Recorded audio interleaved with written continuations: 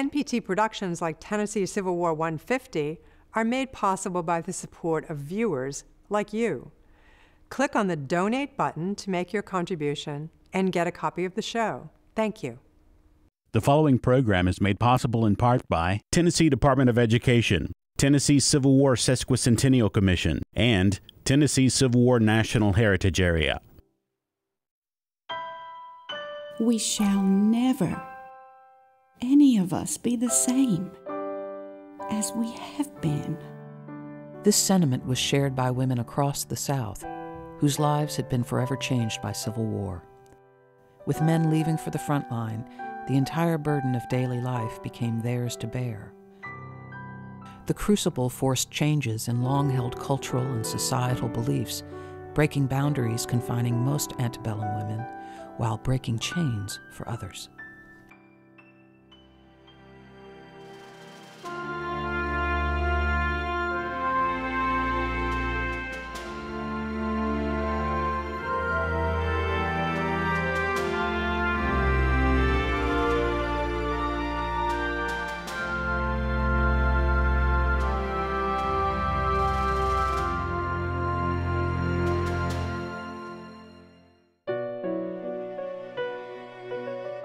Woman naturally shrinks from public gaze and from the struggle and competition of life. In truth, woman, like children, has but one right, and that is the right to protection. A husband, a lord and master, whom she should love, honor, and obey. Nature designed for every woman. The mid 19th century was a white man's world, especially in the antebellum South. North of the Mason Dixon line, the Industrial Revolution drew increasing numbers of women out of the home and into the factories. But in the agrarian South, there was no such exodus. The early rumblings of the women's suffrage movement could be felt in northern cities as early as the 1840s. However, Southerners took solace in the notion that they had somehow been able to quarantine their homes, churches, and schools from the forces of modernization that was seen as a threat to their traditional way of life. While the wives and daughters of wealthy slaveholding aristocrats enjoyed extravagant lifestyles, they had none of the political rights guaranteed by birth to the poorest white male sharecropper. Subordination of women was enforced through both custom and law. Women were the responsibility of either husband or father. Under the deeply entrenched patriarchal system, women had no reason to burden themselves with matters of importance to the state. That was the white man's responsibility. Because we are free and because we are men in a world of slaves and women, we have a world of privilege at stake here and a way of life. And remember that they have already constructed a link between the defense of slavery and the defense of the traditional family. And what they say is Slavery is like marriage. It is a relation ordained by God specifically to protect the weak. The family is a perfect way to legitimize inequality because almost all men are invested in that form of inequality. Idle Southern women were hard to find, although the meaning of work varied with one's station in society, economic condition, and geographic location. White women were to marry, raise children, and keep an orderly house. Enslaved blacks were property. Denied the most basic human rights, they were considered livestock that could be bought and sold. A woman's place was mainly confined to a limited private sphere, the home and church. Preached from the pulpit and espoused in books and magazines, women were told if they were unhappy or discontented in the sphere to which God had appointed them, it must be their own fault, and by renewed effort, they could do better.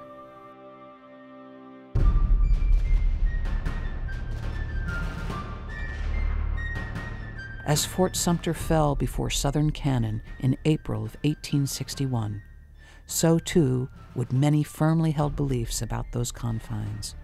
President Lincoln's call for Southerners to take arms against their brothers ignited a firestorm of secessionist fever creating winds of change which would soon upend the sheltered world of women.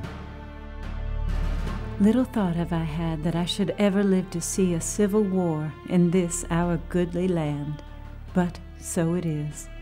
There will be many a divided family in this once happy union. There will be father against son and brother against brother. Oh God, that such things should be in a Christian land. That men should in their blindness rush so rashly to ruin and drag with them so many thousands of innocent victims. Of course, my judgment is not much anyway, but in my feeble opinion, they will have cause to repent their rashness. Amanda McDowell's words would prove to be painfully prophetic. She would witness firsthand the divisive effects of the war in Tennessee, with one of her brothers donning Confederate gray, the other Union blue. However, most secessionists were more optimistic about the impending struggle with the North. There was a widely held idea that the Confederacy would overwhelm the Yankees with its military prowess, and in a few months at most, the Union would concede and life would return to normal. I have bid my sons farewell. I do feel I have given my sons not to make war upon an enemy, but to act in self defense to resist the invasion of a foe to civil liberty. To me, this deadly struggle is a mystery on the part of the North. What do they want? It cannot be to ameliorate the condition of our colored people when every step they take but enhances the wretchedness of their condition by making them enemies to the best earthly friends they can have. You're dealing with people who are living this very schizophrenic kind of life where they have to constantly convince themselves that these people are happy. And one of my favorite quotes is from a woman who when her slaves began running away, she said, How could she leave without any kind of provocation? Well, the provocation is slavery itself, right? She didn't tell me she was going. Well, why would she? You're not an employer. It's not a site where white women and black women, you know, become buddies and best friends. Slaveholding women have every right and power that slaveholding men have within that space. The right to order people about, the right to order them separated, sold, killed, whatever. So it's not a kind of sisterhood because you're women. You never knew what it was like to be a slave, to be entirely subject to the will of another. You never exhausted your ingenuity, eluding the power of a hated tyrant. You never shuddered at the sound of his footsteps and trembled within the hearing of his voice. Every one of those rights that we regard as absolutely fundamental, if so fundamental that we take them for granted today, was denied to slaves. Paternalistic masters would allow their slaves to marry, but those marriages were not uh, recognized by law, and they could and were often uh, broken up by, by the sale of one of the others breaking up of slave families was very common. A large proportion of people who lived their lives or any part of their lives through slavery lost a loved one through sale. I never before wished I was a man. Now I feel so keenly my weakness and dependence.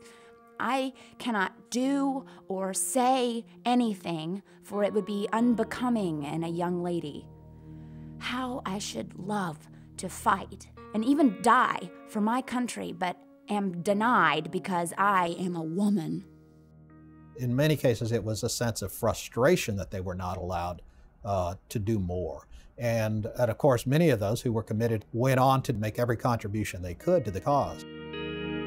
Ladies' aid societies were instrumental in raising money and volunteers. They provided clothing, blankets, and food, as well as nursing and comfort to the soldiers. The Society of Southern Mothers most sincerely thank the ladies of Memphis for their promptness in responding to the call made upon them for aid in making up garments for the sick and wounded soldiers.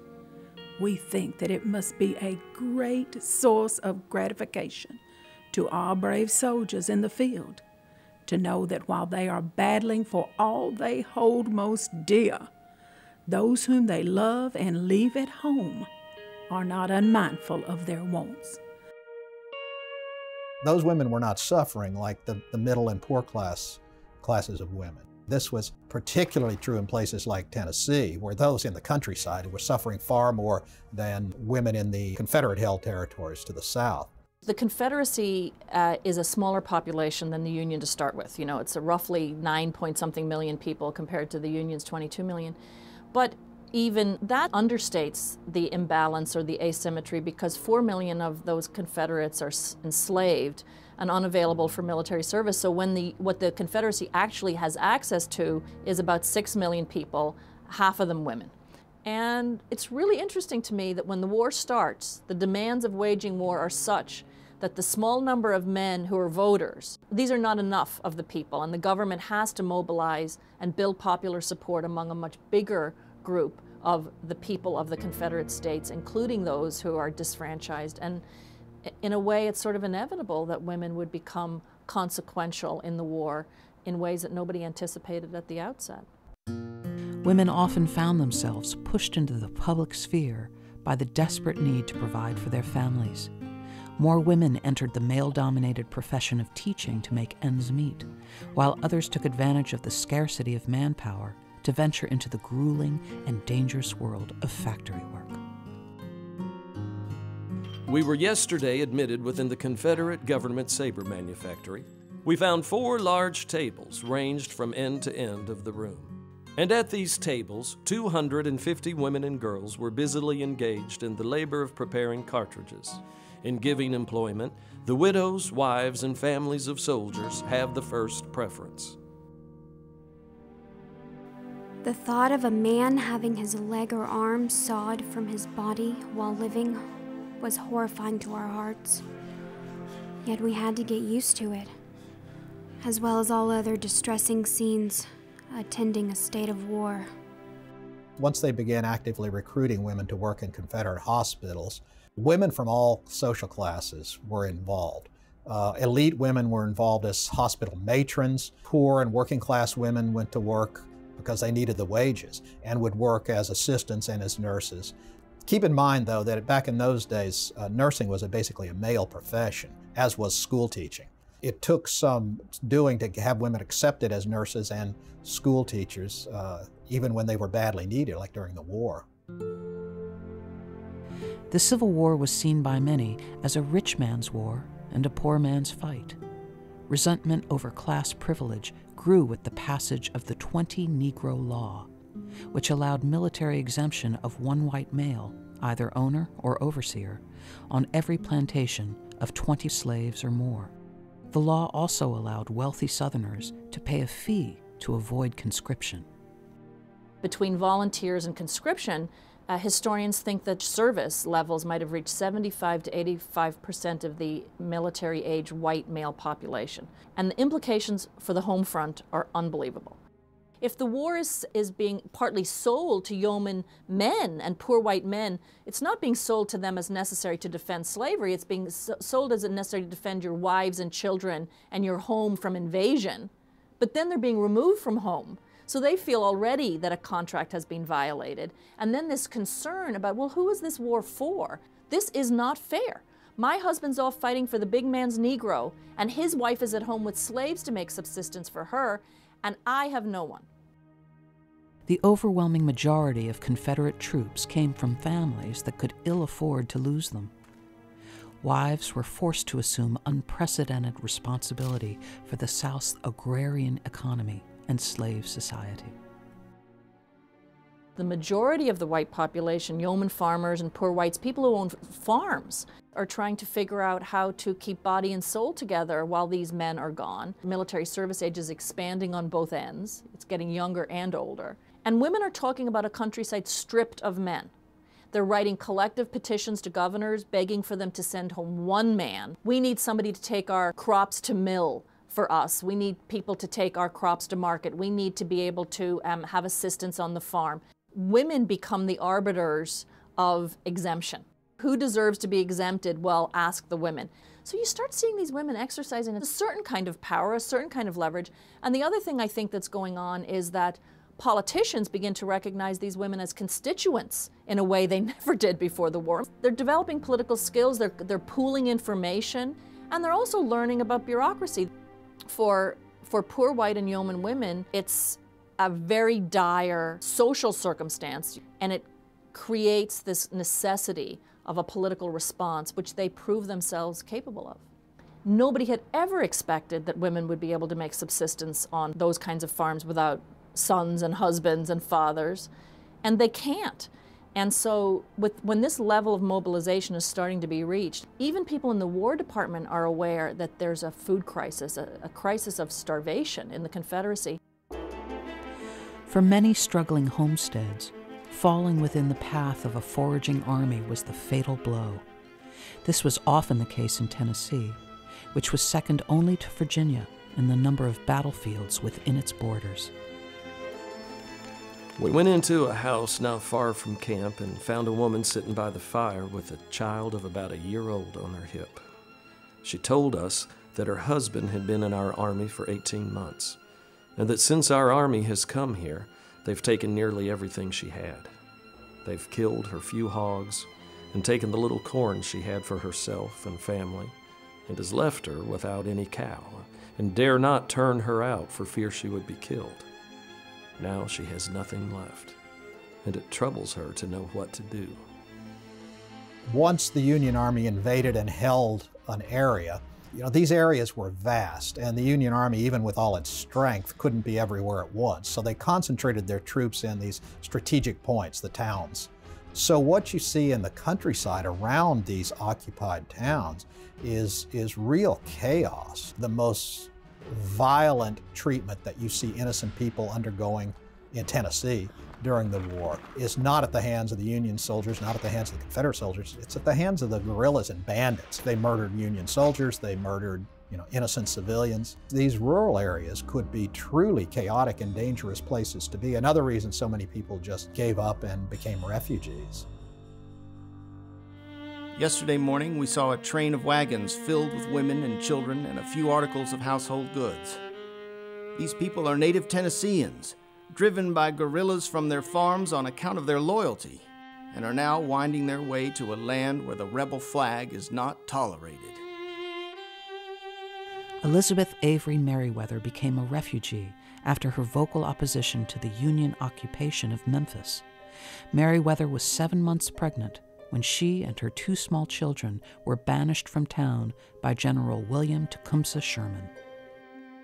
I seemed all of a sudden to realize the desolateness of my position, alone in the world, with two children, driven from pillar to post. My husband off in the army, I knew not where. I became filled with self pity and cried as if my heart would break homeless and stealing food to feed her children, Meriwether's outbursts had cost her dearly. Feeling betrayed by the Confederate government and their men, Southern women began taking matters into their own hands. In 1863, food riots erupt all over the Confederacy. The biggest is in Richmond. And it completely rivets Confederate editorial attention, political attention. In the case of Richmond, we know who organized it. It was a, a, woman called Mary Jackson, a farm wife, and a soldier's mother. And she had tried to get her son out of the army by writing the Secretary of War and had pleaded with him and had failed. And when she failed, unlike lots of other women, she took an additional step, which was to go to the streets. And she organized 300 women in Richmond for a bread riot. And the thing that's interesting about this is if you don't just look at the women, but if you also read the correspondence of the War Department, and also of all these women who are writing governors, they're basically saying, how much are we supposed to endure? And what does the government owe us? And we soldiers' wives have a legitimate claim on the resources of the government. And people agree with them. Yes, they do. The week before the riot in Salisbury, North Carolina, there's a letter from a group of women who call themselves the regulators, using the term from the American Revolution and they tell the governor that if he doesn't sort out the law, that they will have bread or blood. and we will have it or die in the attempt. In 1860, women do not write petitions to their governor. In 1861, they write only a few. In 1862, they write more. By 1863, it is a deluge of letters going into the governor's office.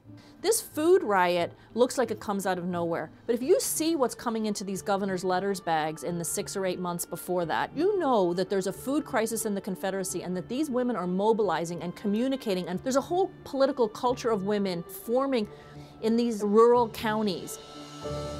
Facing starvation, white Southern women made themselves heard for the first time and forced their government to listen. The Confederate States, and to some extent the Confederate central government, was forced to change policy and build a welfare system that was completely unparalleled in the Union. Georgia spent more money in one year than Massachusetts spent in the whole war. And the relief laws are explicitly written in the image of the soldier's wife, so the instructions go out to counties and say things like, give two pounds of bacon and so much corn per week, distribute first to the soldiers' wives and then to other needy persons. And all of these changes come after the food riots. So the prototype of the welfare recipient in this new system are the women who mobilize to insist that welfare be given. So I think that that's kind of, um, in and of itself, an index of change that the war has brought, and very unexpectedly. Confederate relief laws did ease the food crisis for a while, but the government efforts were woefully inadequate. As the war continued to stretch resources to the breaking point, feeding the army took precedence, leaving the civilian population to fend for themselves.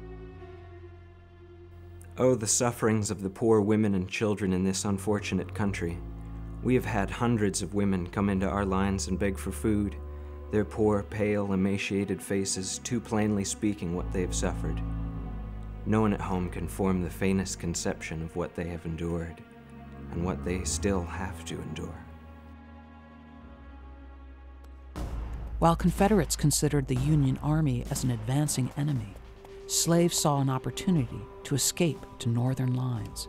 The first people who leave the plantations would be men because they've got this knowledge of uh, the space beyond the plantation. But then increasingly as the war goes on, when these women are given an opportunity, they leave the plantations, they try to get to Union lines. If these women and children were able to elude Confederate patrols on their quest for freedom, there was still no guarantee of sanctuary. There are still a question of is the Army going to support them? How can we support them? What are they going to do? There's only so many jobs that are available. And commanders kept telling them, go back to where you came from. Or if you come in our lines, we're not going to feed you. And so at one point along the Mississippi River, you've got thousands of black women just roaming about because they've got no place to go. As the number of self emancipated slaves continued to grow, contraband camps, the Union term for escaped slaves, began to spring up in middle and western Tennessee. If you were lucky, you had maybe a cabin. More than likely, it was a tent camp. It was crowded, it was dirty, it was a great deal of sickness. Most people, by the time they got to the camps, they were not in the best of health to begin with, when there are all kinds of shortages. It was not a, a good place. After the Emancipation Proclamation, there is the possibility that you can draft the men out of the contraband camps into the Union Army, but you still have the question of what about the women and the children?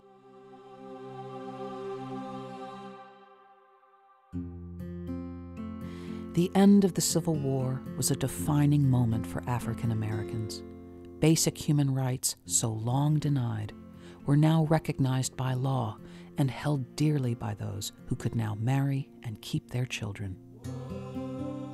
When you think of what does freedom mean to black men and black women, one of the first things that many of them do is to enter into some kind of legal marriage. For example, in the contraband camps, they'd have these mass marriage ceremonies where you'd have like 20, 30 black couples who would just stand up and they would be married all at the same time. And it was just an indication of the importance of legal marriage within this community. Former slaves were initially concerned with a couple of things. One, finding family members who had been sold away and reconstituting their families. And second, figuring out how they would make a living. It's very clear that former slaves were not at all uncertain that they could do it. Do You understand that you have talents and abilities that will enable you to make a life when freedom comes. So there's no question about the optimism, and they kept fighting and struggling to get that piece of land and to educate their children and themselves and become citizens of this country, a country that they thought they had earned the right to be citizens of. Hardship and loss presented less favorable changes for white women. The war had left a shattered South in its wake. A quarter of a million men would not be coming home.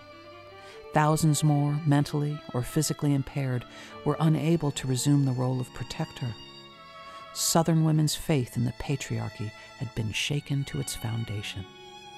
There's no possibility of going backwards after slavery is destroyed. You can't go back. You can only go forward. You can argue over how to go forward, and there's tremendous conflict over how Southern society should be reconstructed after the war.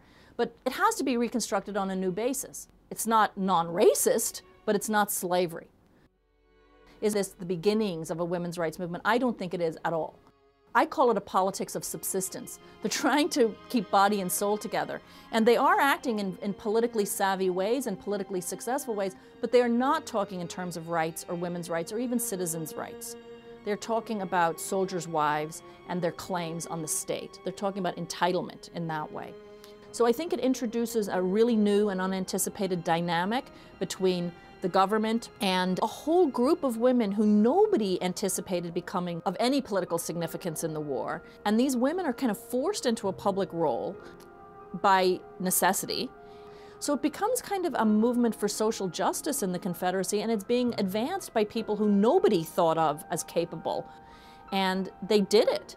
The war allowed more women to experience the public sphere, to move beyond the confines of home and church. The war, if it taught us anything, should have taught us that everyone, women included, deserve the right to be free and treated equally. Elizabeth Avery Meriwether, the outspoken refugee, returned to Memphis after the war. At a dinner party for friends of her husband in 1867, she confronted the male guests with a question When will women have the right to vote? You know very well your husband will take care of your interests. Who will take care of the interests of women who have no husbands? Southern women would never allow themselves to be that vulnerable again. Blacks and whites began the long process of redefining their roles in society. This work would fall to later generations, but lessons of the war would not be forgotten.